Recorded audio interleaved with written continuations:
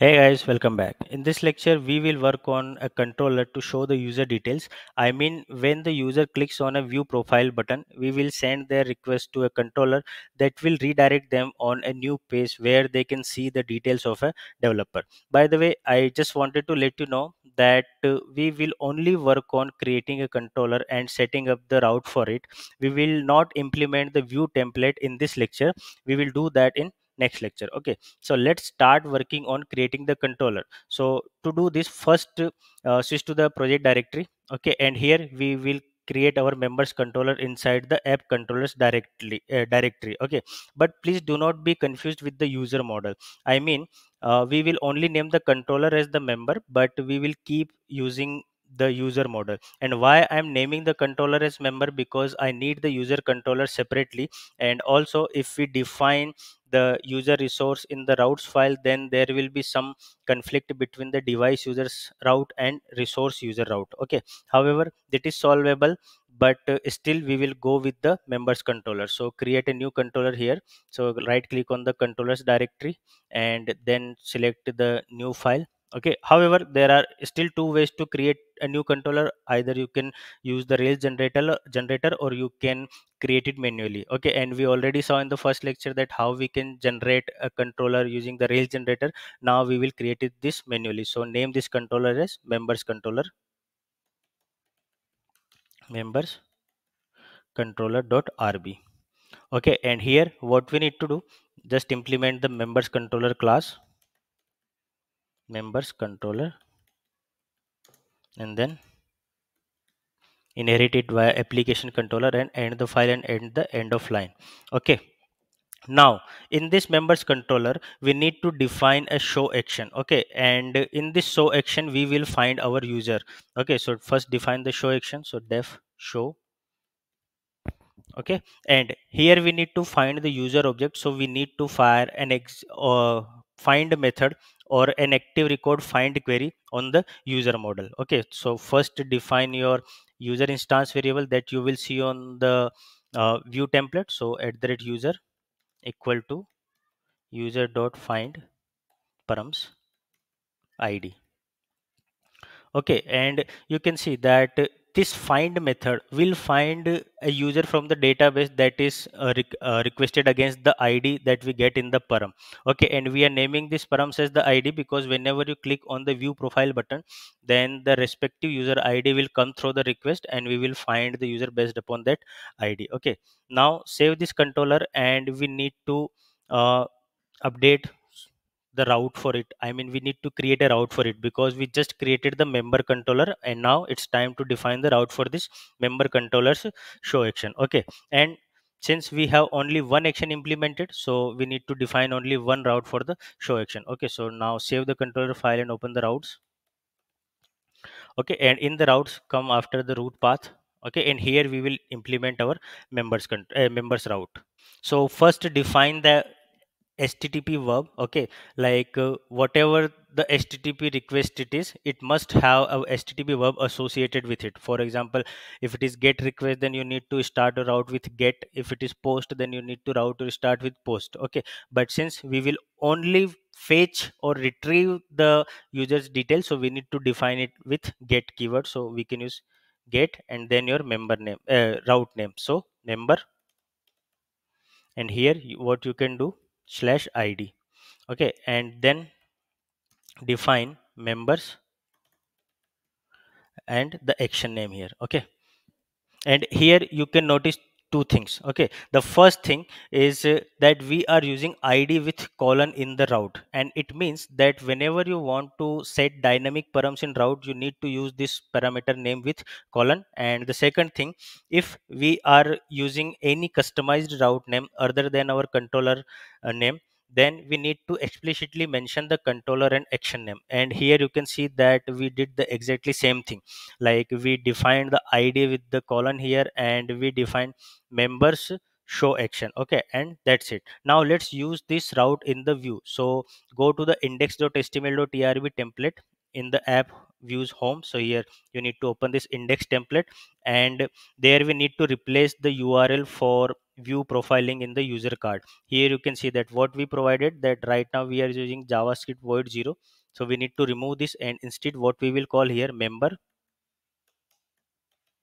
and slash. Now we need to pass the user's id so we will use this in like this user dot id okay. And now just go to the browser and refresh your root page.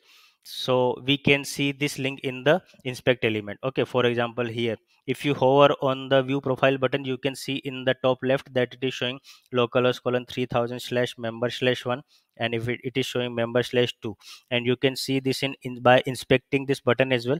So here you can see this href property. It is showing member slash 2 okay? But if you click on it right now you will see an error that members controller show is missing a template for request format text html okay? Why? Because we did not implemented the show .html.erb and we are not going to implement this in uh, this lecture. We will do that in next lecture. Okay.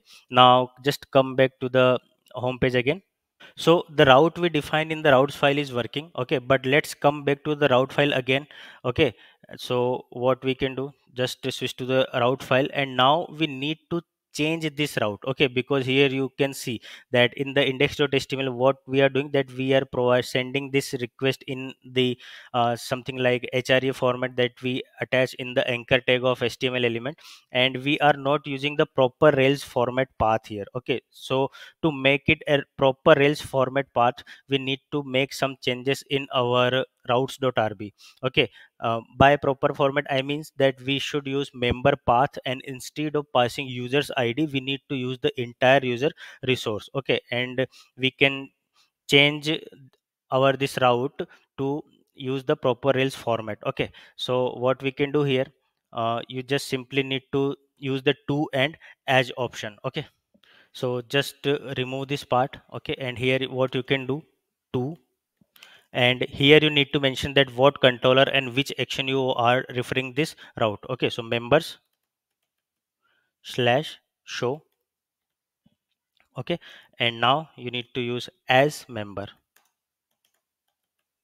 and add it in quotes. Okay now if you uh, execute this in the current way like here we did in the in index.html now if you use this in the same way you are still able to do that. For example uh, let's uh, save this and uh, sorry let's just save the route file okay and go to the browser and refresh the page. Your link still will work okay but we can do this in other way as well like we can do this like uh, member path